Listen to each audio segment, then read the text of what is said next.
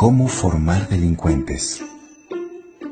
Comience desde la infancia dando a su hijo todo lo que le pida. Así crecerá convencido de que el mundo entero le pertenece. No le dé ninguna educación espiritual.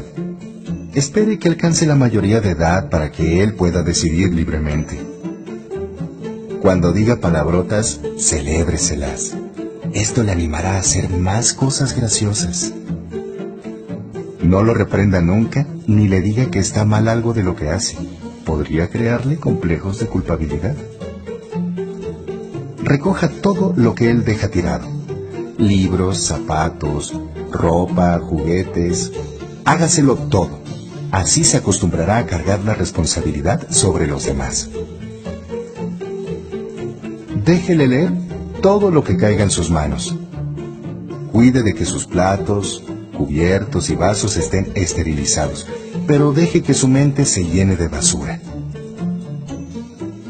Dispute y riña a menudo con su cónyuge en presencia del niño.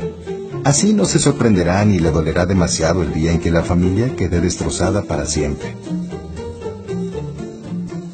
Dele todo el dinero que quiera gastar no vaya a sospechar que para disponer de dinero es necesario trabajar.